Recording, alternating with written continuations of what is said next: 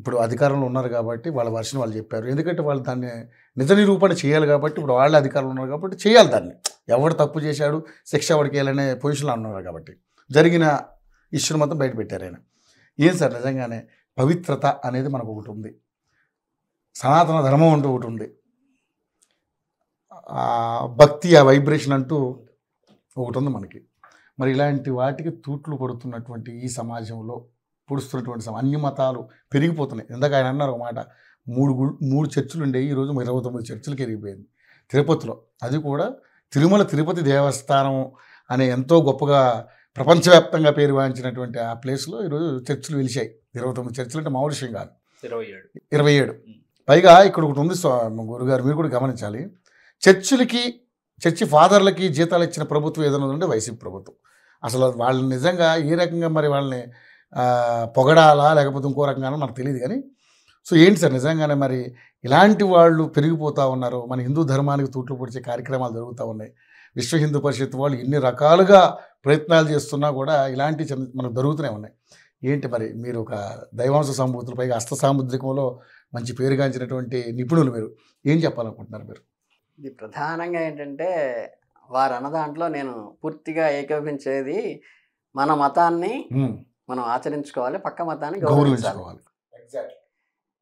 ఇప్పుడు ఏంటంటే ఇప్పుడు ఒక్కొక్క దానికి ఒక్కొక్కటి ప్లేస్ ఉంటుంది. ఇప్పుడు జెరూసలేం ఉంది అక్కడ తీసుకెళ్ళి ఎవరో వేరే గుడి పెట్టి టెంకాయ కొడతామంటే it is not correct Mecca ఉంది. మక్కా దానికి ఒక ప్రెమిసెస్ ఉంటుంది దేవాలయానికి. ఆ ప్రెమిసెస్లోకి వెళ్ళి ఏదో అక్కడ వెంకటేశ్వరం పెడతామండి తప్పే ఉంది అఖిలాంటి కోటి బ్రహ్మాండ నాయకుడు. అని అక్కడ పెట్టి మేము అక్కడ పూజలు పునస్కారాలు దండలేయటం చేసామనుకోండి అది కాంట్రవర్సీ అవుతుంది ఖచ్చితంగా. అదేవిధంగా ఇక్కడ కూడా తిరుమల అనేది ఏంటంటే అది మొత్తం ఆయన ఆస్థానం. ఆస్థానం. అవును. ఎస్ ఎగ్జాక్ట్లీ అక్కడికి వెళ్ళి ప్రత్యేకంగా వేరే మతాన్ని అక్కడ ఏదో బైబిల్ చదివారని దాన్ని మీరు చెప్పారు అక్కడ ఏదో మసీదు కూడా మెట్టదారులు ఏదో పెట్టారని ఇవన్నీ ఏంటంటే అవి ఏంటంటే లేనిపోని స్పర్ధని పెంచుకున్నట్టు అవుతుంది. రెండోది ఏంటంటే ఈ పార్టీలకు అతీతంగా మంచైనా చెడైనా అందరము అన్ని మతాలని గౌరవించాల్సిన వాళ్ళు కాబట్టి ఏదైనా మనకి తప్పు జరిగినప్పుడు అయ్యో ఇలా తప్పు జరిగిందా? దాన్ని వెంటనే రెక్టిఫై చేద్దాం. దాన్ని మేము సహకరిస్తాము అని అందరూ ముందుకు వచ్చి రైట్ మేము మీకు సపోర్ట్ చేస్తాం. అసలు ఏంటి అదేంటి తేల్చండి అసలు ఎక్కడ వచ్చింది ఎవడు చేశాడు అసలు వాడు బయటికి తీయండి. అని సపోర్ట్ చేస్తే ఎగ్జాక్ట్లీ ఇప్పుడు ప్రభుత్వం వాళ్ళే తప్పు చేయాలి రూల్ లేదు అధికారులు తప్పు చేసి ఉండొచ్చుగా. ఆ, అది నేను అనేది ఏంటంటే ఉమ్, మీరు ఒక స్టూడియో హెడ్గా ఉన్నారనుకోండి ఉమ్, మీ కింద ఎవరో సెక్యూరిటీ గార్డో లేకపోతే వాచ్మెనో లేకపోతే కెమెరామెనో ఎవరో ఎవరో మీకు తెలియకుండా చేశారనుకోండి. మీరు తప్పు అన్నప్పుడు వెంటనే మీరు వచ్చేసి ఆయన వెనకేసుకొస్తే అర్థం ఏంటి? అంటే మీకు కూడా బాగా ఉంది అని అనుకుంటారుగా డెఫినెట్లీ అనేటువంటి వచ్చేసేట్టు ఉంది కాబట్టి. చక్కగా అయ్యో అలా జరిగిందా? వెంటనే దాని కింద వేయండి సిట్టు వేయండి మేము సహకరిస్తాం అందరూ కలిసి చేద్దాం. అందరూ సమిష్టిగా చూసి ఒకళ్ళ మనోభావాలు దెబ్బతిన్నట్టు మనం చేయటం ఎందుకు? పాజిటివ్గా వెళ్ళొచ్చు. ఇప్పుడు మీరు మామూలు చిన్న చిన్న గేమ్స్ ఆడేటప్పుడే షేక్ అండ్ ఇచ్చి స్టార్ట్ చేస్తారు.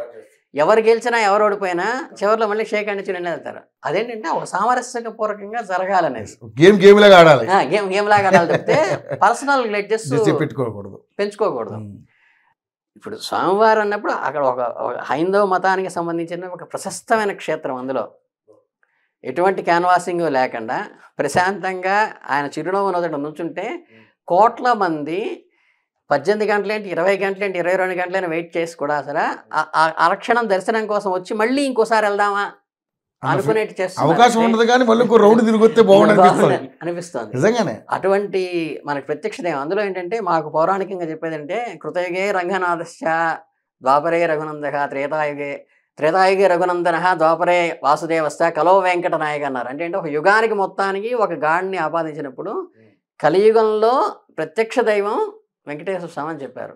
అటువంటి దగ్గర ఏదన్నా ఇటువంటి జరగటం ఏంటంటే అది ఎవరు చేశారు ఎందుకు చేశారు అని పక్కన పెడితే జరగటం మటుకు చాలా ఘోరం. ఏంటంటే గబుకుని బాధగా ఉంటుంది చెప్పుకోవాలన్నా. ఇప్పుడంటే ఊళ్ళో ఎవరికో ఏదో జరిగింది అన్నదానికి సామాజికంగా నా కూతురికే నా తల్లికి ఏదో జరిగినప్పుడు నేను దాన్ని డిస్కస్ చేయడానికి కూడా నాకు బాధ వేస్తుంది ఇప్పుడు నా తల్లిని తీసుకెళ్ళి ఎవరైనా రేపు చేశారన్నారనుకోండి మిగతా వాళ్ళు డిస్కస్ చేసినట్టు నేను మీడియా ముందు చేయలేరు discuss చేయలేరు చేయలేరు. ఎగ్జాక్ట్లీ ఎగ్జాక్ట్లీ చేయను. మా అమ్మ కదా. లోపల ఏముంటుంది నాకు? బాధ ఉంటుంది తప్పితే ఏదో ఎవరినో కొడదామో తిడదామో ఆవేదన వ్యక్తం చేద్దామో పోరాడదాం లోపల నలుగుతుంటుంది మనస్సు అందుకని ఏంటంటే తప్పు జరిగిపోయింది.